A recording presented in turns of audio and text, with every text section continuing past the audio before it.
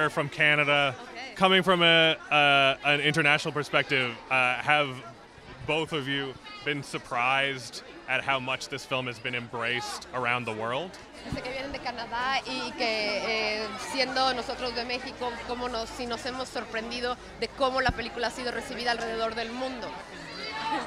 Sí, ha sido una sorpresa muy grande porque al menos yo consideraba que muchos no la iban a querer ver porque es una historia personal de Alfonso y en blanco y negro.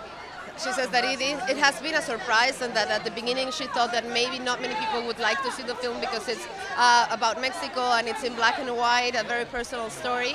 But it's been the other way. And I would add that it's been really beautiful the way people feel like it's also about their own lives, about their own childhoods. And that's a, they come to us and share their experiences about their, their childhood scars. So we really uh, are so happy that it's been happening. This film, my last question will be working uh, uh, from an interesting perspective where Alfonso gave you the script kind of right when it was happening, but also having such intimate emotions. How did you balance kind of figuring it out? Was it was it an intimidating process or did you feel like it really drew you in?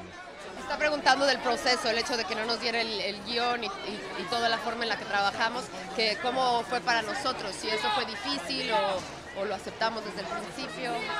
No, al principio como a mí me costó porque siempre quería saber qué es lo que iba a pasar con mi personaje, pero también fue fácil eh, porque el hecho de que yo no soy actriz y no conozco cómo tienes que estudiar a un personaje, pues esto me lo She says at the beginning it was a little bit difficult, but then she started to understand the process. And for her that this is her first film and that she says that she didn't know how things were done, so she thought that this was a normal way of working, just and, and, and how about you? well, it was incredible. I really like surrendered to what Alfonso wanted. At, at, the first week was difficult to understand, like the process of going to learn day by day where the characters were gonna live, not knowing what it will happen, how it will end.